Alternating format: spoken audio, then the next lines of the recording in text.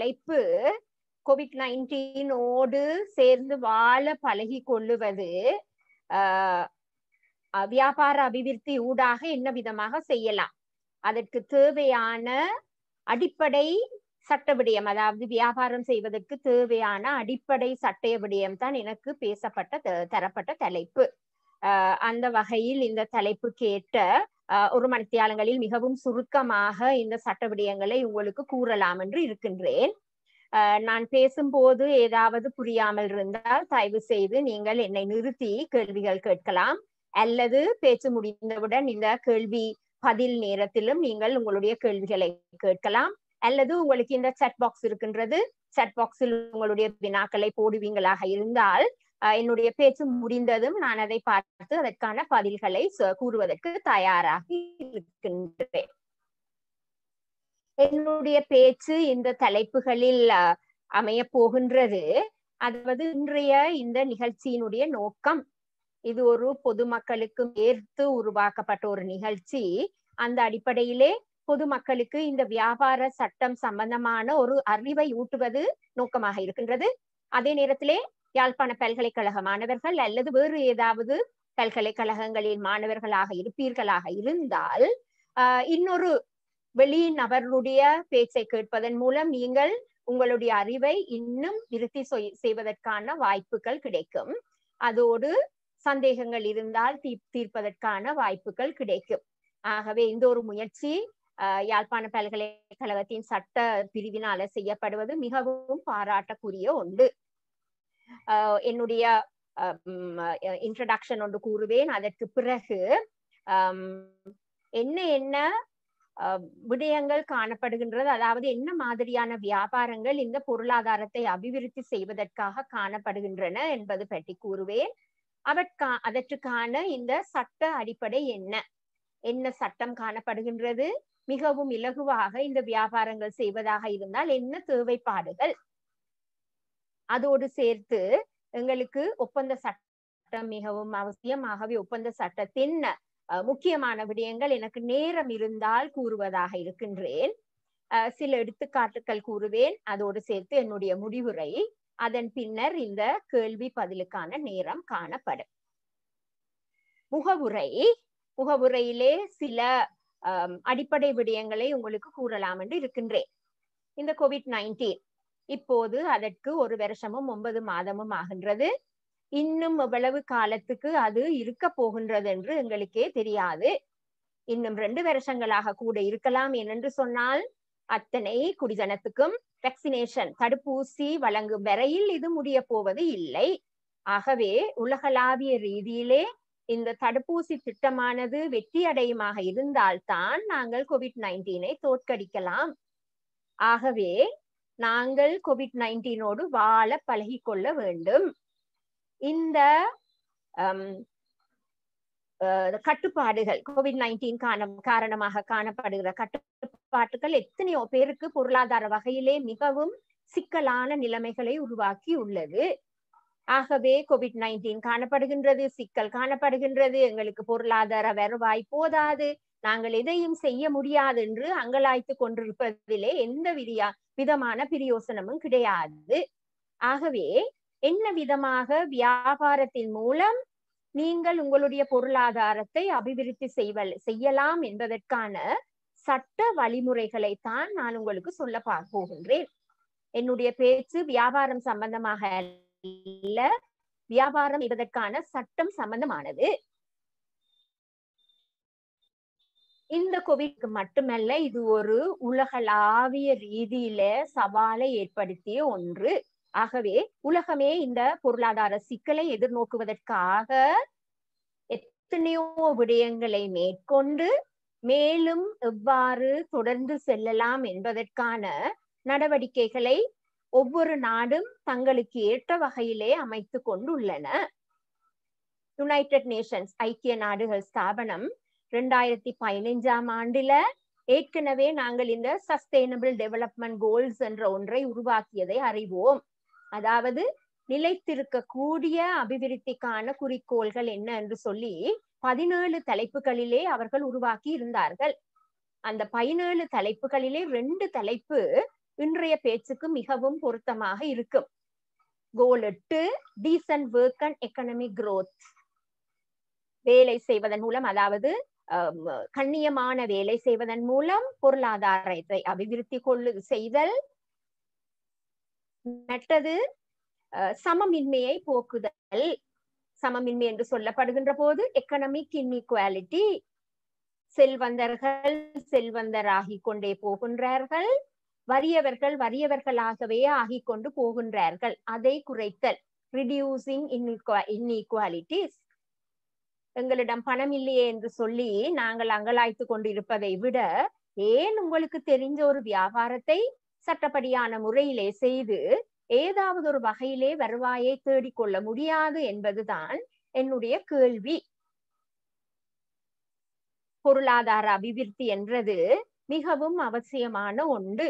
அப்ப அந்த பொருளாதார அபிவிருத்தி கட்டாயம் அவசியம் என்று சொல்லி உங்களுடைய மனத்திலே நீங்கள் ஒரு நிலைநிறுத்தி கொண்டீர்களாக இருந்தால் என்ன செய்யலாம்? என்னென்ன மாற்று வழிகள் எங்களுக்கு உள்ளன என்று சொல்லி நீங்கள் சிந்திக்கலாம். அந்த மாற்று வழிகளுக்கான சட்ட அடிப்படையைத்தான் நான் உங்களுக்கு கூற வந்துள்ளேன். நானும் வடமாகாணத்தில் தான் கல்லூரி பள்ளி க படிப்பை மேற்கொண்டேன். நாங்கள் பாடசாலையில் இருக்கும் போது ஒவ்வொரு வருடமும் எங்களை டூர் கூட்டி கொண்டு போவார்கள்.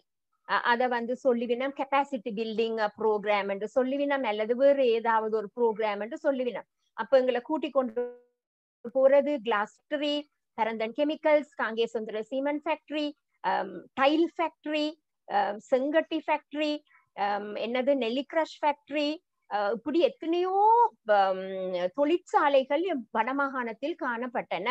இப்படி மூன்று நாலு பார்த்துட்டு கடைசியா தான் எங்களை ஒருக்கா கீரிமலைக்கு கூட்டி கொண்டு போவார்கள் என்றா அதற்காகத்தான் நாங்கள் போறது. இப்ப நீங்களே யோசித்து பாருங்கள் என்னை விட உங்களுக்கு தான் வடமாகாணத்தின் நிலைமை தெரியும். எத்தனை தொழிற்சாலைகள் வடமாகாணத்தில் உண்டு? இருந்தவை எல்லாம் மூடப்பட்டன. எங்களால் எதையும் திருப்ப தொடங்க முடியாமல் உள்ளது. நான் கூறிய இந்த தொழிற்சாலைகள் எல்லாம் அரசாங்கத்துக்கு சொந்தமானது இல்லை. தனிப்பட்டவர்களுக்கு சொந்தமானதாகவும் இருந்தது. ஆனால் இப்ப எதுவுமே இல்லை. நான் யாரையுமே தனிப்பட்ட முறையிலே குற்றம் கூறுவதாக இல்லை. ஆகவே இதை கேட்டுக்கொண்டிருக்கிறவர்கள் யோசிக்க வேண்டும். எங்களுக்கு வடமாகாணத்தின் பொருளாதாரத்தை அல்லது உங்களுடைய குடும்ப பொருளாதாரத்தை நீங்கள் அபிவிருத்தி செய்ய வேண்டுமாக இருந்தால் ஏன் அது வியாபாரம் மூலமான அபிவிருத்தியாக இருக்கக்கூடாது? நியாயமான முறையிலே வியாபாரம் செய்து சட்டப்படியான தேவைப்பாடுகளை நிறைவேற்றுவார்களாக இருந்தால் கட்டாயம் அங்கு லாபம் என்ற ஒன்றை ஈட்டக்கூடியதாகவே இருக்கும்.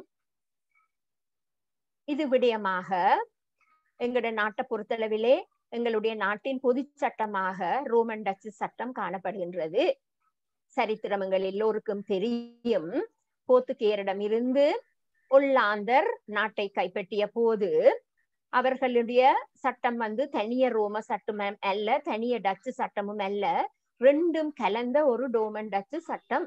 அது ஓரளவுக்கு வளர்ச்சி அடைந்ததாக எங்களுடைய நாட்டில் காணப்பட்ட சட்டத்தை விட நவீனமாக காணப்பட்டதுனால அது நீதிமன்றங்களிலும் பல விடயங்களிலும் பாவிக்கப்பட்டது.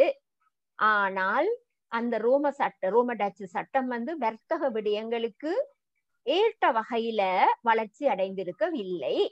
இதனால் டச்சு ஆட்களிடம் இருந்து நாட்டை கைப்பற்றிய ஆங்கிலேயர் வர்த்தக விடயங்களுக்கு தங்களுடைய சட்டங்களையே பிரயோகித்தார்கள். ஆகவே வர்த்தக விடயங்களை பொறுத்தளவிலே ஆங்கில சட்டம் எங்களுக்கு ஏற்புடையதான சட்டமாக அமைந்தது. இது பாராளுமன்றத்தினால் உருவாக்கப்பட்ட introduction to laws of England act அல்லது சிவில் லாஸ் ஆர்டினன்ஸ் என்பதன் கீழ் அங்கீகாரம் வழங்கப்பட்டது. ஆகவே வர்த்தக விடயங்களில் எங்களுக்கு நியதி சட்டங்கள் காணப்படுகின்றன. நியதி சட்டங்களுக்கு குறை நிரப்பு சட்டங்களாக அல்லது நியதி சட்டங்களுக்கு மேலதிகமான எதுவாவது தேவைப்படுமாக இருந்தால் அந்த விடயங்களிலே எங்களுக்கு ஏற்புடையதானது ஆங்கில சட்டமாக காணப்படுகின்றது. வியாபாரம் ஒன்று செய்வதாக இருந்தால் அல்லது உங்களுடைய வருமானத்தை நீங்கள் அதிகரிக்க போகின்றீர்கள் என்று சொன்னால் உங்களுக்கு என்னென்ன ஆப்ஷன்ஸ் மாற்று வழிகள் உண்டு?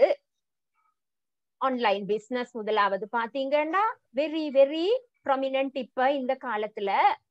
ஏனண்டா ஆன்லைன் பிசினஸ் மிகவும் லேசானது. ஆன்லைன் பிசினஸ் செய்யலாம் எந்த ஃபார்மாலிட்டியும் இதுவரையில சட்டப்படி இல்லை. எங்களுடைய நாட்டிலே எலக்ட்ரானிக் டிரான்சாக்ஷன்ஸ் ஆக்ட் என்று ஒன்று உண்டு. அது என்ன விடயம் ஒன்று எழுத்துல தேவைப்படுத்தப்படுதோ அது இலத்திரனியல் முறையிலையும் காணப்படலாம் என அங்கீகாரம் வழங்கியுள்ளது.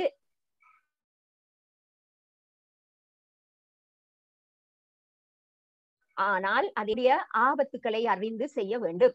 ஏனென்று சொன்னால் இமெயில் மூலம் அல்லது பேஸ்புக்ல ஏதாவது சோஷியல் மீடியால தொடர்பு கொள்றவர் காணாமல் போயிட்டால் நீங்கள் இழந்தது இழந்ததாகவே இருக்கும். அதை நீங்கள் எடுத்துக்கொள்றதுக்கான எந்த வழியும் உங்களுக்கு கிடைக்காது. அதுதான் இந்த ஆன்லைன் பிசினஸ்ல இருக்கிற ஆபத்து. ஏனென்று சொன்னால் எனக்கு தெரியும் நிறைய பேர் வந்து இமெயில் எல்லாம் வரும். Can you join me with to do online business உங்களுக்கு லேசான வழி பணம் ஈட்டிக் கொள்றது இது இது செய்யுங்கோ என்று சொன்னா நீங்க ஏதோ ஒரு வகையில ஒரு பணம் உங்களிடம் இருக்கிற பணத்தை நீங்க கொடுக்கறதாக அமையும். அது திருப்பி எடுக்கிறதுக்கான வழி உங்களுக்கு கிடைக்காது. அது ஏமாத்தாக இருக்கலாம். கட்டாயம் ஏமாத்தாக இருக்கணும் ஆனால் எதுவும் தெரியாமலுக்கு ஆன்லைன் பிசினஸ்ல இறங்குவது மிகவும் ஆபத்தானது. ரெண்டாவது ரெண்டாவது ஆன்சைட் பிசினஸ் அதை பத்தி தான் நான் உங்களுக்கு விரிவாக சொல்ல போகின்றேன். மூன்றாவது வகை இருக்கின்ற சிறிய பணத்தை முதலீடு செய்து அதன் மூலம் லாபம் ஈட்டுதல். உங்களிடம் சிறிய தொகை சேமிப்பு இருக்கின்றது. அதை அப்படியே வைத்திருக்காமலுக்கு நீங்கள் அதை முதலீடு செய்து அதன் மூலம் லாபம் ஈட்டுதல். அதை என்னென்னத்துல முதலீடு செய்யலாம்? கம்பெனிகளில் பங்குகளில் முதலீடு செய்யலாம். கோல்டு பவுன் வாங்குவதில் முதலீடு செய்யலாம். பேங்க்ல பிக்ஸ் டிபாசிட்ல முதலீடு செய்யலாம். ஆனால் இவற்றில் கிடைக்கின்ற வருமானம் நிச்சயத்தன்மை அற்றது. கம்பெனி பங்குகளில முதலீடு செய்வீர்களாக இருந்தால் அது பற்றிய நிபுணத்துவ அறிவு கட்டாயம் அவசியம். வேறு யாரொருவருடைய உதவியை நம்பி கம்பெனி பங்குகள் பங்குகளில் முதலீடு செய்வது மிகவும் ஆபத்தானது. இப்போதைய நிலவரப்படி கோல்டில் ஒரு வருஷத்துக்கு முதல் முதலீடு செய்திருந்தால் மிகவும் லாபம் கிடைச்சிருக்கும். ஆனால் தங்கத்தில் முதலீடு செய்வது அன்பிரடிக்டபிள் எதிர்பார்க்க முடியாதது. தங்கத்தின் விலை எந்த நேரமும் குறையலாம் அல்லது கூடலாம். அப்ப தங்கத்தை வாங்கி கூடுற நேரம் விற்கக்கூடிய ஒருவராக இருக்க வேண்டும். அதுக்கும் பெரிய தொகை பணம் தேவை. பேங்க்ல போட்டா எங்களுக்கு இப்போது நிலவரப்படி பேங்குங்களுக்கு தருகின்ற வட்டி மிக மிக குறைவு. அதை வச்சு கொண்டு சீவனம் நடத்த முடியாது. ஆகவே உங்களிடம் இருக்கின்ற திறமைகளை வைத்துக்கொண்டு வியாபாரம் செய்வதன் மூலம் என்ன விதமாக சட்ட தேவைப்பாடுகளுக்கு இணங்கி பொருளாதாரத்தை அபிவிருத்தி செய்யலாம் என்பதை நாங்கள் பார்த்து கொள்ளலாம். வியாபாரம் செய்வதற்கு என்ன விதமான வியாபார முறைகள் சட்டத்தின் கீழ் காணப்படுகின்றன? இலங்கை சட்டத்தின் கீழ் காணப்படுகின்றன. முக்கியமாக மூன்று விதமான வியாபாரங்கள். தனியார் ஒருவர் செய்யக்கூடிய ஒரு வியாபாரம் பங்குடைமை கம்பெனிகள். இந்த மூன்றும் தான் முக்கியமாக வியாபாரம் என்று வருகின்ற போது நாங்கள் தெரிவு செய்யக்கூடிய ஒன்று.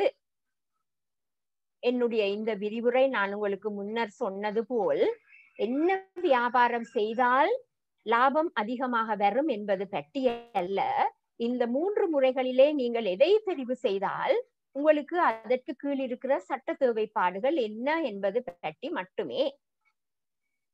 இந்த விடயத்தில் நான் உங்களுக்கு முக்கியமாக ஒன்று கூட கூறக்கூடியது என்னவென்று சொன்னால் இறைவன் எல்லாரையும் ஏதோ ஒரு வகையான திறமையோடு தான் படைத்துள்ளான்.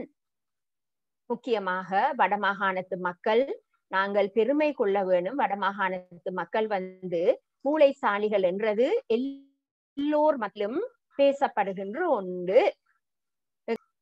ஆகவே எங்களுக்கு இருக்கிற திறமைகளை நாங்கள் ஏன் பொருளாதார அபிவிருத்திக்காக பயன்படுத்த கூடாது? எங்களுடைய திறமைகள் எங்கேயோ மூளையில் இப்போது முடங்கி காணப்படுகின்றன. வாய்ப்பேச்சு மட்டுமே காணப்படுகிறது. செயலில் எதுவும் இல்லை. இந்த மூன்று வியாபாரங்களுக்கும் பொதுவான சட்டத்தை பற்றி கூறுவேன். ஆனால் குறிப்பிட்ட சில வியாபாரத்துக்கு அந்தந்த துறை சார்ந்த அனுமதிகள் தேவைப்படலாம்.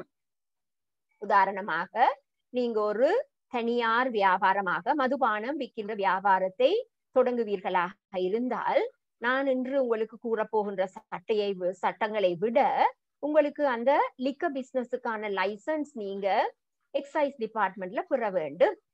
அது பற்றி நான் இங்கே எதுவும் சொல்லது சொல்ல சொல்ல முடியாது. ஏனென்றால் அது மிகவும் பெரிய ஒரு விடயம். ஆகவே நீங்க என்ன வியாபாரம் செய்கின்றீர்களோ அது சில வேளைகளில குறிப்பிட்ட ஒரு அரசாங்க நிறுவனத்திடம் அல்லது ஏதாவது துறையில் அனுமதி தேவைப்படுத்தப்பட்ட ஒன்றாக இருக்கலாம். அதை தவிர சட்டபூர்வமான எந்த வியாபாரத்திலும் பொதுமக்கள் ஈடுபடலாம். சட்டபூர்வமான வியாபாரம் என்று சொன்னால் நீங்க மனதுல யோசிக்க வேண்டும் எது சட்டபூர்வமானது. சட்டத்தினால் வெளிப்படையாக தடுக்கப்பட்டால் ஒழிய மிச்சம் எல்லாமே சட்டபூர்வமானது. இது இது வியாபாரம் செய்யப்பட முடியாது என்று சொன்னால் அது சட்டத்தினால தடுக்கப்பட்டு இருக்கும். எல்லோருக்கும் தெரிஞ்ச ஒன்று போதை வஸ்து போதை வஸ்து வியாபாரம் செய்வது தடுக்கப்பட்ட ஒன்று. அல்லது விபச்சாரம் விபச்சாரத்தை வியாபாரமாக செய்யறது எங்களோட நாட்டு சட்டங்களில ஏற்றுக்கொள்ளப்பட முடியாது. ஆனால் வெளிநாடுகள் இருக்கின்றன. விபச்சாரம் அனுமதிக்கின்ற நாடுகள் அந்த நாடுகளிலே கம்பெனிகள் கூட இருக்கின்றன.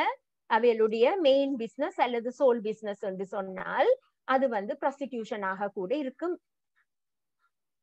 சட்டபூர்வமான வியாபாரம் எதுவென்றதை தெரிவு செய்வது அந்தந்த நபர்களை பொறுத்தது. இன்னொரு உதாரணம் நான் சொல்லுவதாக இருந்தால் உங்களுக்கு ஆயுதங்கள். ஆயுதங்கள் விற்றல் வாங்கல் வந்து சட்டபூர்வமானது ஆண்டு சொன்னால் அது அனுமதி பெறப்படுகின்ற போது சட்டபூர்வமானது. அவன் என்ற நிறுவனம் சம்பந்தமான வழக்கு அண்மையில தான் நீதிமன்றத்தில் முடிவுற்றது. அது பற்றி உங்களுக்கு நிச்சயமாக தெரிந்திருக்க வேண்டும். இலங்கையின் தெற்கு கடற்பரப்பிலே கடந்த அரசாங்கம் பதவியில் இருக்கின்ற போது ஒரு மிதக்கும் ஆயுத களஞ்சியம் கண்டுபிடிக்கப்பட்டதாக பரபரப்பான செய்திகள் எல்லாம் கொண்டு வரப்பட்டு அவர்கள் மீது வழக்குகள் தொடுக்கப்பட்டது. அந்த வழக்குகள் எல்லாம் இப்போது நீதிமன்றத்தினால தள்ளுபடி செய்யப்பட்டது. ஏனென்றால் அவை எல்லாம் அரசாங்க அனுமதி பெற்று செய்யப்பட்ட வியாபாரம் என்ற அடிப்படையிலே. ஆகவே செய்யப்படுகின்ற வியாபாரம் சாதாரணமான கமர்ஷியல் ப்ராடக்ட் அதாவது வர்த்தக பொருளாக இருந்தால் அதுக்கு பயப்பட தேவையில்லை. அல்லது இப்படியான வித்தியாசமான விடயங்கள் என்று சொன்னால் நீங்கள் கட்டாயமாக பார்க்க வேண்டும் இதுக்கு வேறு ஏதாவது லைசன்ஸ் அனுமதி பத்திரம் தேவையா என்று சொல்லி. என்ன வியாபாரமாக இருந்தாலும் அதன் மூலம் நீங்கள் லாபம் ஈட்டுகின்ற அதே நேரத்திலே நீங்கள் நாட்டின் பொருளாதாரத்துக்கும் பங்களிப்பு செய்கிறீர்கள் என்றதை மறந்துவிட வேண்டாம். நாட்டின் பொருளாதாரம் எங்களுடைய ஒவ்வொரு வருட வருமானத்திலும் தங்கியுள்ளது.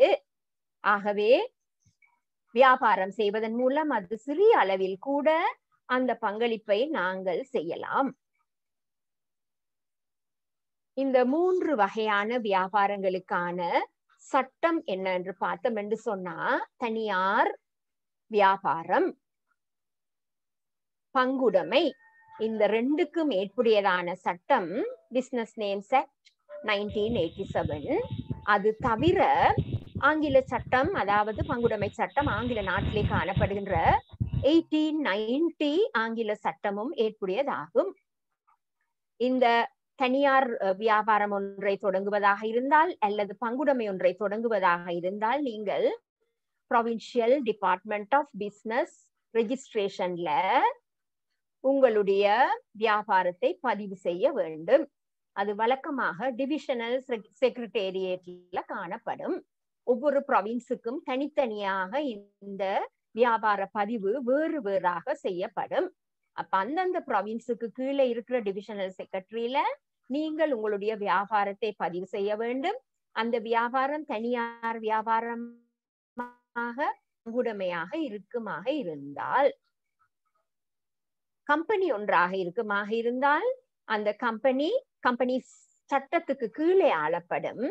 கம்பெனி சட்டம் வந்து தலைமை அலுவலகத்தை கொழும்பில் கொண்டது. அதற்கு கிளை அலுவலகங்கள் இருந்தாலும் கூட அந்த கம்பெனி இன்கார்பரேஷன் சம்பந்தமான எல்லா சென்ட்ரலைஸ்ட் ஆபீஸ் வந்து கொழும்புல தான் காணப்படுகின்றது. ரெஜிஸ்ட்ரா ஜெனரல் ஆஃப் கம்பெனிஸ் வந்து கொழும்புல இருக்கின்ற ஒரு அலுவலகத்தில் தான் உள்ளது. ஆனால் இந்த கம்பெனிஸ் எல்லாம் நீங்க இப்போ ஆன்லைன்ல இன்கார்பரேஷன் செய்யலாம். ப்ராப்பரைட் அல்லது பார்ட்னர்ஷிப்புக்கு இதுவரையில ஆன்லைன் ரெஜிஸ்ட்ரேஷனுக்கான வசதிகள் ஏற்கொள்ள இல்ல. ஆனா கம்பெனி ரெஜிஸ்ட்ரேஷன் நீங்க முழுக்க முழுக்க ஆன்லைன்ல செய்து கொள்ளலாம். மூன்று நாட்களில் கம்பெனி ஒன்றை நீங்கள் பதிவு செய்து கொள்ளலாம். இந்த வகையான பதிவு இல்லாமல் ஒரு வியாபாரம் இருக்குமாக இருந்தால் அதாவது அன்இன்கார்பரேட்டட் பாடி அல்லது அன்ரெஜிஸ்டர்ட் என்டிட்டி என்றால் அதுக்கு சட்டத்துக்கு கீழே எந்த விதமான அங்கீகாரமும் கிடையாது. முதல் ரெண்டு வகையான வியாபாரம் அல்ல அதாவது தனியார் வியாபாரம் அல்லது பங்குடைமை.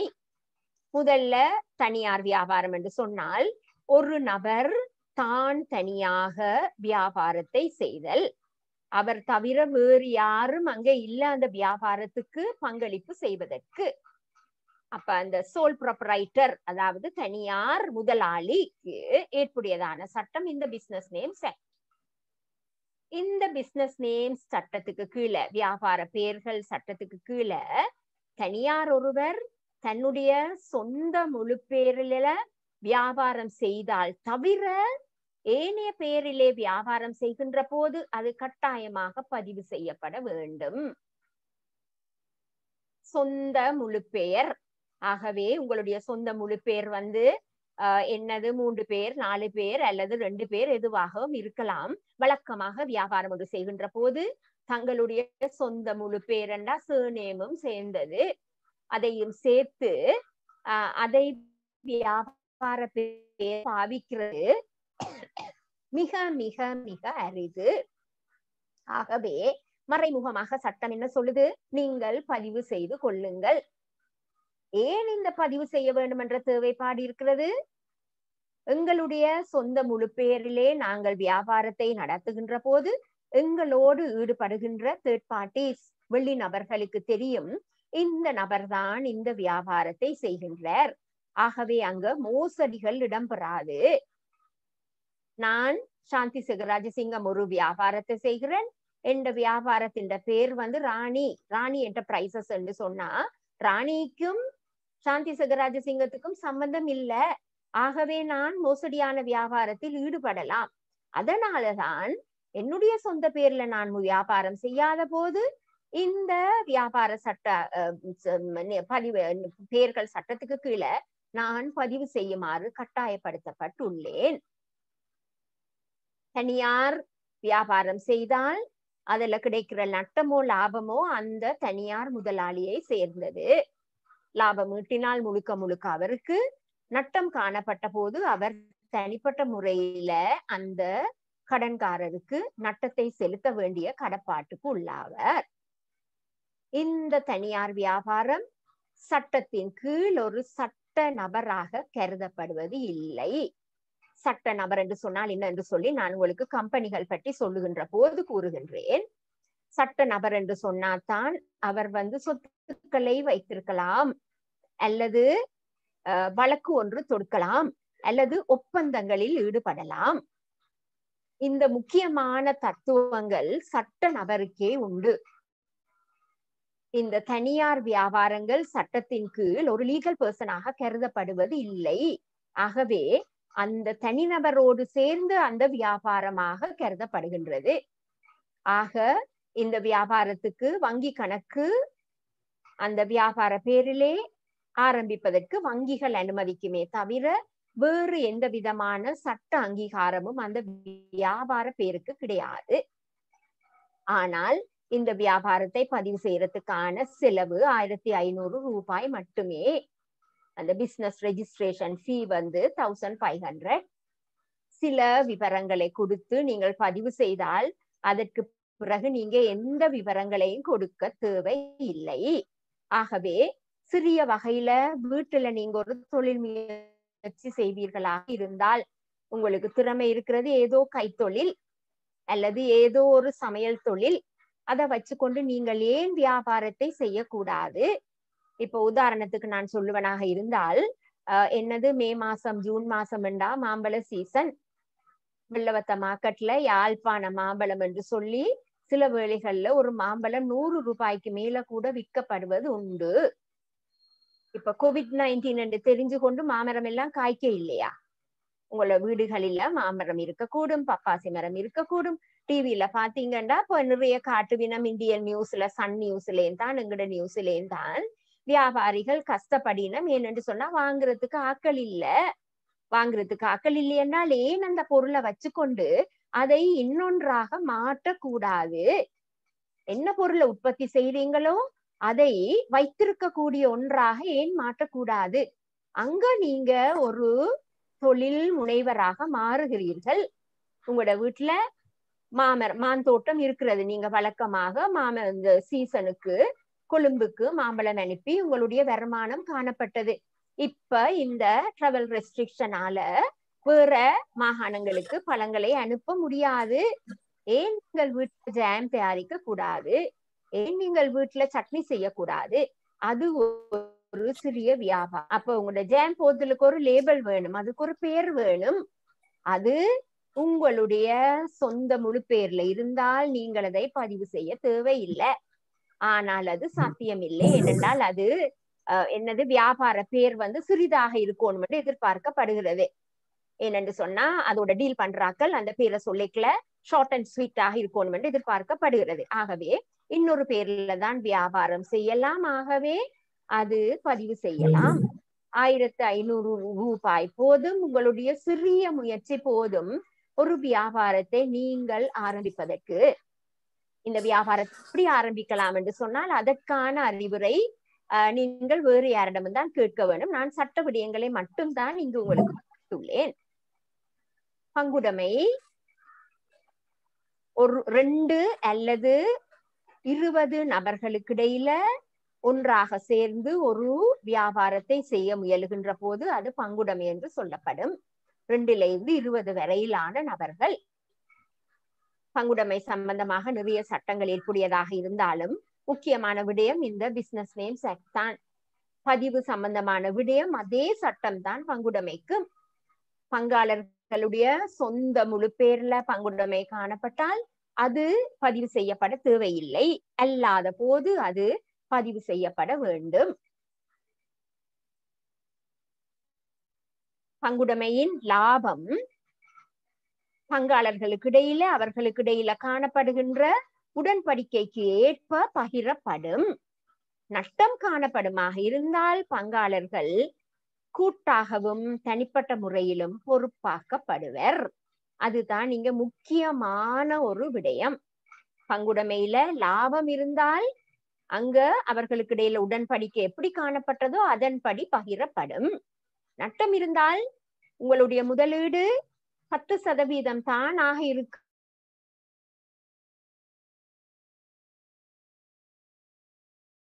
பங்குறு சதவீதமான நட்டத்துக்கும் பொறுப்பாக்கப்படலாம். பங்குடைமையானது எழுத்தில் இருக்க வேண்டும் என்ற தேவைப்பாடு பிரிவென்ஷன் ஆஃப் ஃப்ராட்ஸ் ஆர்டினன்ஸ் அதாவது மோசடி தடுப்பு கட்டளை சட்டத்துக்கு கீழே காணப்படுது. இருந்த போதிலும் வாய்மொழியிலான சான்றுகள் சில தேவைப்பாடுகளுக்காக ஏற்றுக்கொள்ளப்படுகின்றது. மூன்றாவதாக கம்பெனிகளுக்கு வருமமாக இருந்தால் மிகவும் கடுமையான ஒரு சட்ட வரையறைக்குள்ளே செய்யப்படக்கூடிய ஒரு முறையான வியாபாரம். இது ஆரம்பிக்கப்படுறதுல இருந்து கலைக்கப்படுதல்ல நாங்க வைண்டிங் அப் என்று சொல்லுவோம். ஆரம்பித்தல இன்கார்பரேஷன் என்று சொல்லுவோம். அப்ப இன்கார்பரேஷன்ல இருந்து வைண்டிங் அப் வரையில என்ன செய்யப்பட வேண்டும் என்று கம்பெனி சட்டத்துல மிகவும் தெளிவாக சொல்லப்பட்டு உள்ளது. கம்பெனிகள் ஆரம்பித்தால் அதற்கு பிறகு பங்குடைமை போலவோ தனியார் நிறுவனம் போலவோ எந்த என்னது விடயங்களையும் அறிவிக்க தேவையில்லை என்றது இங்கு கிடையாது. கம்பெனிகளை பொறுத்தளவில காலத்துக்கு காலம் கம்பெனிகளில நடக்கின்ற விடயங்கள் ரெஜிஸ்டார் ஆஃப் கம்பெனிஸுக்கு அறிவிக்கப்பட வேண்டும். அது வந்து ஒரு பிரிஸ்கிரைப் ஃபார்ம் அங்க ரெஜிஸ்டார் ஆஃப் கம்பெனிஸ் ஃபார்ம்ஸ் இருக்கு.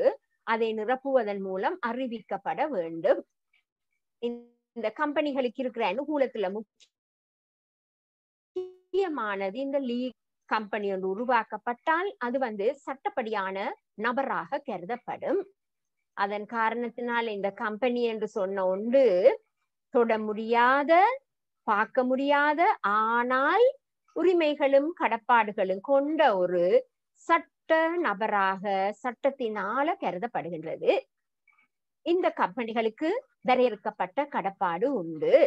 அதாவது நீங்கள் எவ்வளவு முதலீடு செய்வதாக ஒப்புக்கொண்டீர்களோ அந்த தொகையை தவிர வேறு எந்த தொகையையும் நீங்கள் அளிக்க வேண்டிய தேவைக்கு உட்படுத்தப்பட மாட்டீர்கள்.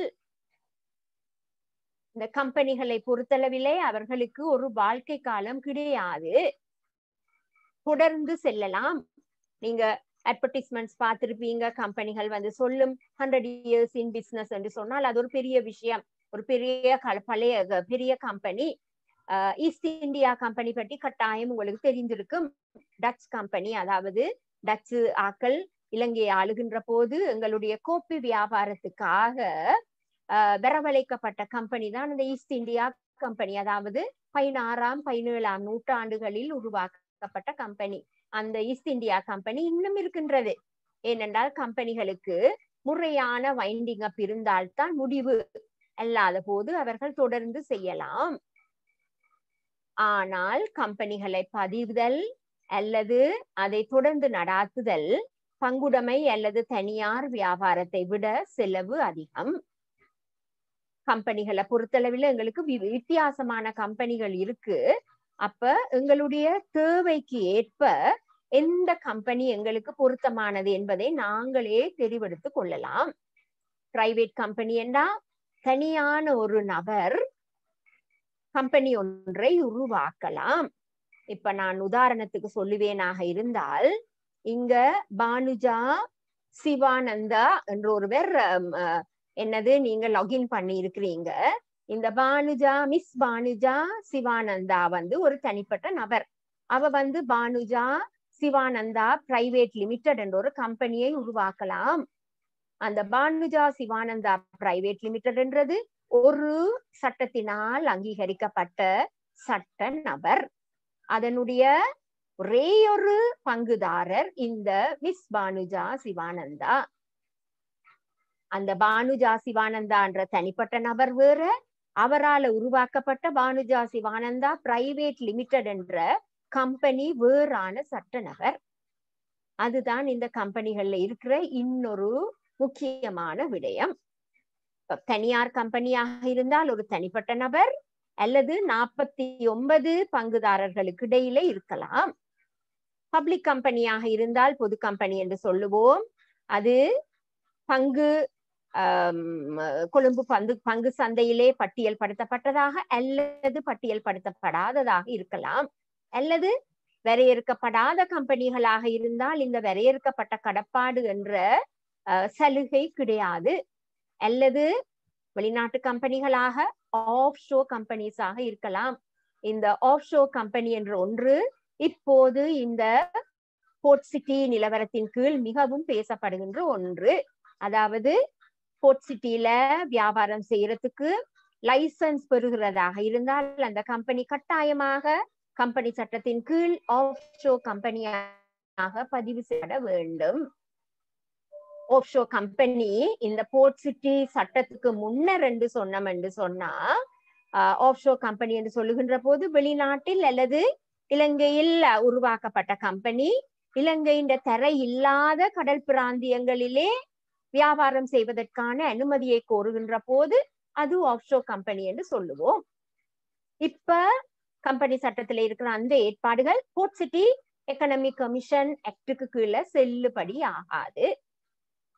இதை தவிர கரண்டி கம்பெனி அதாவது உத்தரவாதத்தால் வரையறுக்கப்பட்ட கம்பெனி இருக்கின்றது.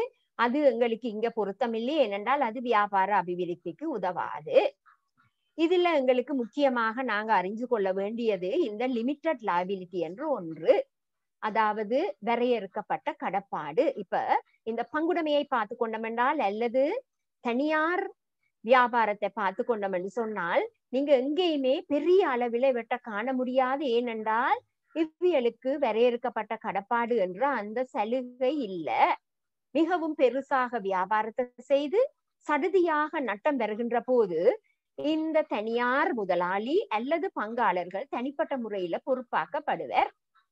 உதாரணத்துக்கு சொல்லுங்க நீங்க டூ தௌசண்ட் நைன்டீன்ல ஒரு பார்ட்னர்ஷிப்பை உருவாக்கினீங்க. ஒரு ஃப்ரெண்டோட நல்லா தான் போச்சுது டூ தௌசண்ட் நைன்டீன் பிகினிங்ல ஆனால் டூ தௌசண்ட் டுவெண்ட்டி ஆரம்பமாகின்ற போது கோவிட் நைன்டீன் சுச்சுவேஷன் உங்களுக்கு நிறைய கடன்களை ஏற்படுத்தி விட்டது. அப்போது அந்த கடன்கள் காரணமாக நீங்க வியாபாரத்தை கொண்டு நடத்த இயலாமல் மூடுபடமாக இருந்தால் கடன்காரர்கள் உங்களுடைய தனிப்பட்ட சொத்துக்கள் மீது கூட கோரிக்கைகளை முன்வைக்கலாம். அதுதான் இந்த பங்குடைமையிலேயும் தனியார் நிறுவனத்திலையும் காணப்படுகின்ற ஒரு முக்கியமான பிரதிகூலம். கம்பெனிகளை பொறுத்தளவில் அந்த அட்வான்டேஜ் மிகவும் இலகுவான ஒன்றாக தெளிவான ஒன்றாக காணப்படுகின்றது. இந்த லிமிட்டட் லைபிலிட்டி என்ற ஒன்று. இது வந்து முதலீட்டை எங்களுக்கு பாதுகாப்பான முறையிலே செய்வதற்கு உறுதி அளிக்கின்றது ஆனால் இதற்கு விதிவிலக்கான சந்தர்ப்பங்களும் உண்டு. நான் அது பற்றி இந்த விரிவுரையிலே கூறவில்லை. ஆஹ் உங்களுக்கு ஒரு உதாரணத்தை காட்டலாம் என்று நினைக்கின்றேன். ஆஹ் இந்த லிமிட்டட் லைபிலிட்டி என்று சொன்னால் என்ன என்று சொல்லி. சரியா? இப்ப நான் இந்த தந்திருக்கிற உதாரணத்திலே ரெண்டாயிரத்தி பதினஞ்சாம் ஆண்டு சுனில் என்ற நபர் அஞ்சு லட்சம் ரூபாயை சுனில் பிரதர்ஸ் என்பதிலும் இன்னொரு அஞ்சு லட்சம் ரூபாயை சுனில் கன்ஸ்ட்ரக்ஷன்ஸ் லிமிடெட் என்றதிலையும் முதலீடு செய்கின்றார். இந்த சுனில் பிரதர்ஸ்ல வேறு ரெண்டு பங்காளர்கள் இருக்கிறார்கள். சரியா? அந்த சுனில் பிரதர்ஸ் என்றது பார்ட்னர்ஷிப் இங்க பாத்தீங்கன்னா அந்த பங்குடமேண்ட மூலதனம் ஒரு மில்லியன் அந்த ஒரு மில்லியன் மூலதனத்துல இவர் அஞ்சு லட்சம் முதலீடு செய்கின்ற போது இவருடைய இன்வெஸ்ட்மெண்ட் இன் சுனில் பிரதர்ஸ் ஐம்பது சதவீதம். அதே போல இவர் அஞ்சு லட்சத்தை சுனில் கன்ஸ்ட்ரக்ஷன் லிமிடெட்ல முதலீடு செய்கின்றார். அங்க பத்து ரூபாய் பெறுமதியான ஐம்பதாயிரம் பங்குகள் அவருக்கு கிடைக்கின்றன. ரெண்டாயிரத்தி பதினாறாம் ஆண்டு முதல் வருஷத்துல ரெண்டு கம்பெனிகளுக்கும் லாபம் இல்லை. ரெண்டாயிரத்தி பதினேழாம் ஆண்டு ஒவ்வொரு கம்பெனியும் ஒரு மில்லியன் ரூபாய் லாபம் ஈட்டியது என்று சொன்னால் ரெண்டாயிரத்தி பதினேழாம் ஆண்டு பங்குடைமையில் அவருக்கு ஐம்பது வீதமான லாபத்துக்கு அவர் உறுத்துடையவர் அஞ்சு லட்சம் ரூபாய் பெற்றிருப்பார். கம்பெனிகளை பொறுத்தளவில அவருடைய பங்குகள் அங்கு காணப்படுது. அவர் லாபத்துல கட்டாயம் எனக்கு இவ்வளவு தேவை என்று கேட்க முடியாது. அது கம்பெனிகளோட இயக்குனர் சபை தீர்மானிக்க வேண்டிய ஒன்று. ஆகவே கம்பெனி லாபம் ஈட்டுகின்ற போது தானாகவே பங்குகளோட விலை அதிகரிக்கும்.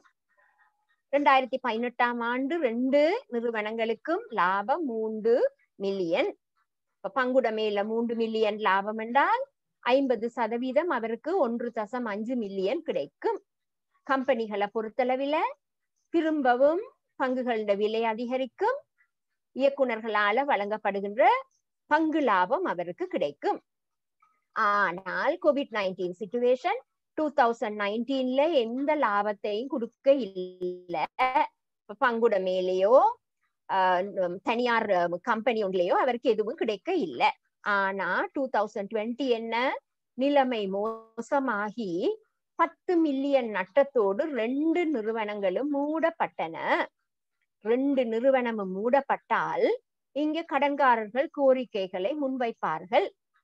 பங்குடமையை பொறுத்தளவில் எந்த கடன்காரர்களும் வேறு ரெண்டு கடன்கா பங்குட பங்காளர்கள் இருந்த போதிலும் கூட இந்த சுனில் என்றவருக்கு எதிராக மட்டும் தங்களுடைய முழு கோரிக்கையை முன்வைக்கலாம்.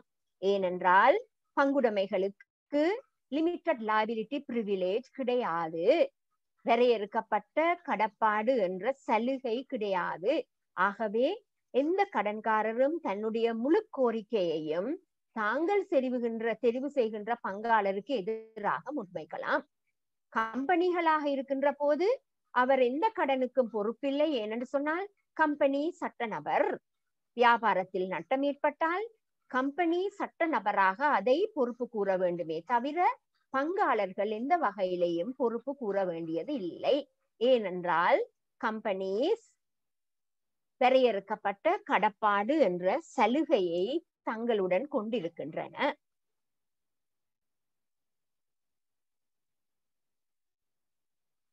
நீங்கள் வியாபாரம் செய்ய வியாபார அபிவிருத்தியை நோக்கி போவதற்கு தீர்மானிப்பதற்கு முன்னால் நீங்கள் எந்த வகையான ஒரு ஆண்டர்பிரூனராக மாற வேண்டும் என்பதை தீர்மானித்துக் கொள்ள வேண்டும். நான் என்ன அஞ்சு டேம்போத்துல வித்து போட்டு என்னுடைய செலவுக்கு மட்டும் பார்த்துட்டு இருந்துடுவேன் என்று நினைக்க வேண்டிய அவசியம் இல்லை.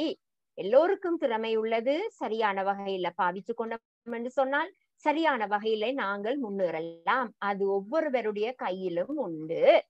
இதுல இருக்கிற ஆஹ் படங்களில இருக்கிற எத்தனை பேர் உங்களுக்கு தெரியுமோ தெரியாது. இவரை கட்டாயம் தெரிஞ்சிருக்கும் பில்கேட்ஸ் ஒரு சக்சஸ்ஃபுல் பிசினஸ்மேன் என்று சொல்லக்கூடியவர். அதே நேரத்துல அவர் பற்றி சில சில கண்ட்ரவர்ஷியல் இஷ்யூஸும் இருக்கு. அது எங்களுக்கு தேவையில்லை. ஆகவே ஒரு ஆண்டர்பிரூனர் என்று சொன்னால் ஒரு ரோல் மாடலாக கருதக்கூடியவர் இந்த பில்கேட்ஸ் அப்ப பில்கேட்ஸ் சொன்ன விஷயங்கள் பில்கேட்ஸ் எப்படி இருந்தார் என்ன செய்தார் என்றது ஒரு உதாரணமாக இருக்கலாம். அம்பானி இந்தியாவில் மிக பணக்காரர். அவரும் என்னது சிறந்த வகையிலே ஒரு வியாபாரத்தை செய்து பல நிறுவனங்களை சொந்தமாக வைத்திருக்கின்ற ஒருவர். இந்த பெண்மணி கிறிஸ்டி வால்டன் என்று சொல்லப்படுபவர். வால்மார்ட் என்ற ஒரு வெஸ்டர்ன் ஒரு அமெரிக்கன் நிறுவனம் ஒன்றின் சொந்தக்காரி. அதாவது இவருடைய மாமனார் தான் முக்கியமாக அந்த நிறுவனத்தை ஆரம்பத்துல ஆரம்பிச்சிருந்தார். ஃபவுண்டர் வந்து இவருடைய மாமனார். அவர் இறந்து போக இவரோட கணவருக்கு போய் கணவரும் இறந்து போக இவரோட பொறுப்பில வந்த பிறகுதான் அந்த வால்மார்ட் இப்போது இருக்கிற நிக நிலைக்கு வளர்ச்சி அடைந்தது. உலகத்திலேயே மிகவும் பணக்கார பெண்மணிகளில் ஒருவராக இந்த கிறிஸ்டி வால்டன் மதிப்பிடப்பட்டுள்ளார். இது நான் ஒரு பெண் என்ற வகையில இதை கேட்டுக்கொண்டிருக்கிற பெண்களுக்கு நான் சொல்லக்கூடியது. பெண்களால் சாதிக்க முடியாதது எதுவும் இல்லை. எங்களுடைய திறமைகளை நல்ல வகையிலே செய்வோமாக இருந்தால் why can't we become an entrepreneur like Christy Walton இவர் ராமலிங்கம் ராஜு அதாவது இந்தியாவை சேர்ந்தவர் தமிழ்நாடு அல்ல தெலுங்கானாவை சேர்ந்தவர் சத்தியம் கம்ப்யூட்டர்ஸ் என்ற ஒரு நிறுவனத்தில் மோசடியாக கோடிக்கணக்கான இந்தியன் ரூபாய்களை இழக்க செய்து போலீசாரால கைது செய்யப்பட்டு சிறை தண்டனை அனுபவித்தவர். அப்ப இவர் உங்களுக்கு பேட் எக்ஸாம்பிள் இவர் போல ஒரு ஆண்டர்பிரூனராக இருக்க கூடாது எது எது செய்யக்கூடாதோ அது இவரால செய்யப்பட்டது. இவியல் ரெண்டு பேரையும் பற்றி கட்டாயமாக தெரிஞ்சிருக்கும். Lalith Kotelawala and Cecilia Kotelawala. இலங்கையின் மிகவும் என்னது பெரிதாக பேசப்படுகின்ற ஒரு மோசடி கோல்டன் கீ ஸ்கேம் என்று சொல்லலாம்.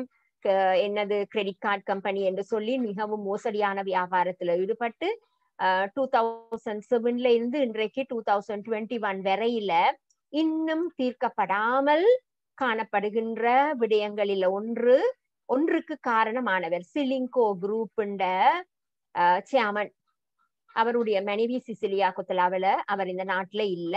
மீடியாவிலேயே சொல்லப்பட்டது.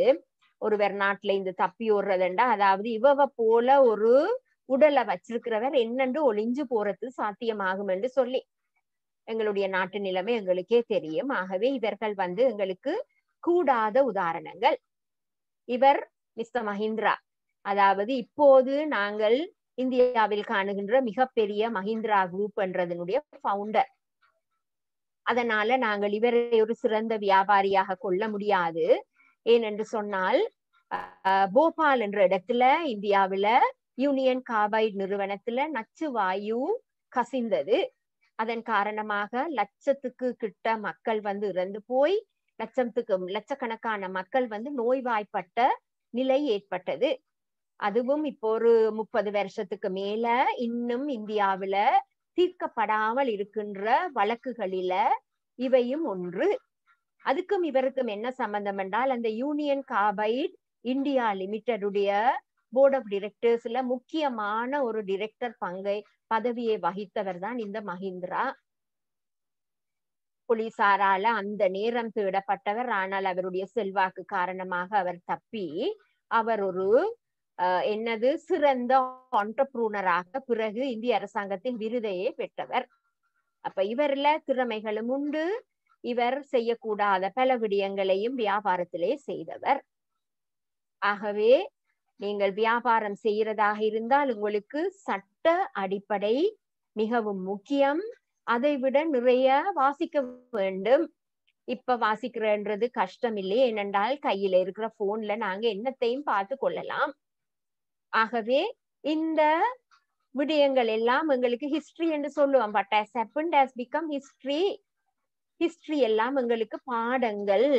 என்ன விதமான வியாபாரம் செய்யலாம் எது செய்யக்கூடாது என்றது இவர்களுடைய வாழ்க்கையிலிருந்து நாங்கள் அறிஞ்சு கொள்ளலாம்.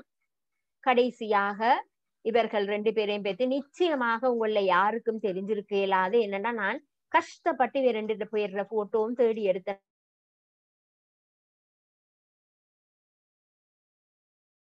நான் இன்றைக்கு தான் என்னது? டிரெக்டர்ஸ்ல ஒருவரும் சீஃப் எக்ஸிகூட்டிவ் ஒருவரும் தான் இந்த ரெண்டு பேரும்.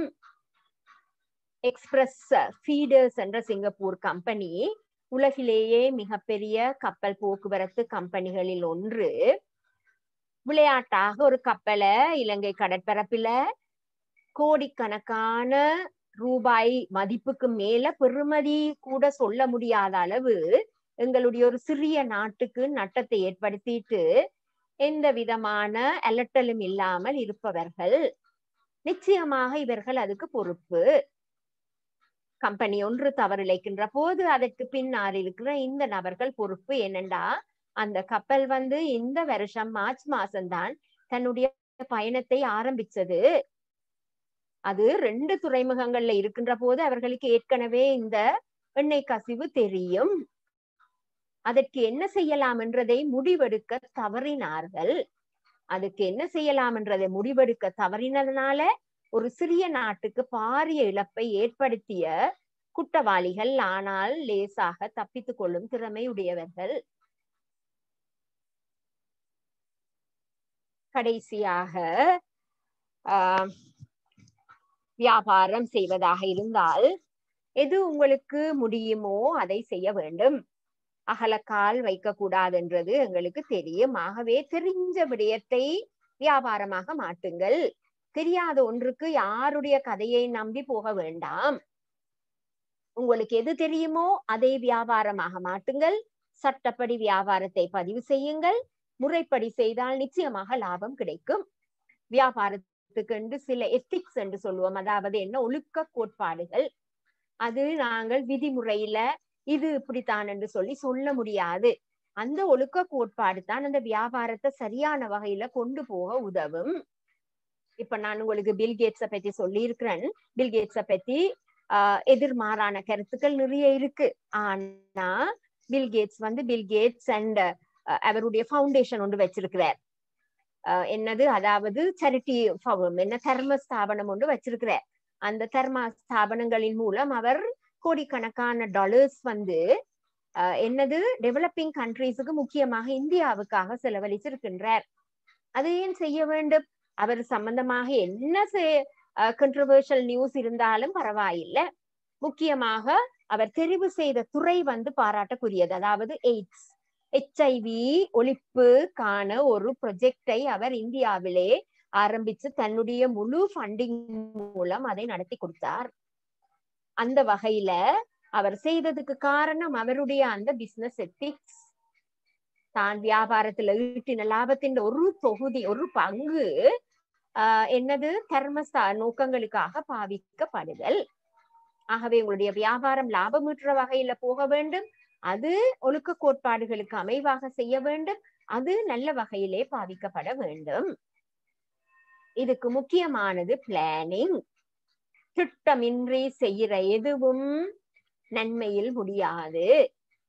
கட்டாயம் திட்டமிட வேண்டும். ஏனென்றால் நிறைய சவால்கள் உண்டு. நிறைய போட்டியாளர்கள் உண்டு. அதற்காக நிறைய படிக்க வேண்டும். நிறைய செலவு செய்ய வேண்டும். சொல்ல வேண்டாம் நேரம் செலவு செய்ய வேண்டும். அதற்கான சட்ட விதிமுறைகள் பின்பற்ற வேண்டும். ஏனென்றால் மோசடிகள் மிகவும் அதிகம். கரப்ஷன் கரப்ஷன் நிறைந்த நாடு எங்களுடைய நாடு. ஆகவே அது எல்லாத்துக்கும் மிகவும் கவனமாக இருக்க வேண்டும். ஆகவே வியாபாரத்தில் முதலீடு செய்து சட்டப்படியான வியாபாரத்தை செய்வதன் மூலம் நீங்கள் உங்களுடைய குடும்பத்தின் நிதி நிலைமையை முன்னேற்றுவதோடு சமுதாயத்துக்கும் பங்களிப்பு செய்கின்றீர்கள். இந்த நிகழ்ச்சியை ஏற்பாடு செய்த யாழ்ப்பாண பல்கலைக்கழக சட்டத்துறைக்கு மீண்டும் என்னுடைய நன்றிகளை தெரிவித்துக் கொள்கின்றேன். இங்கு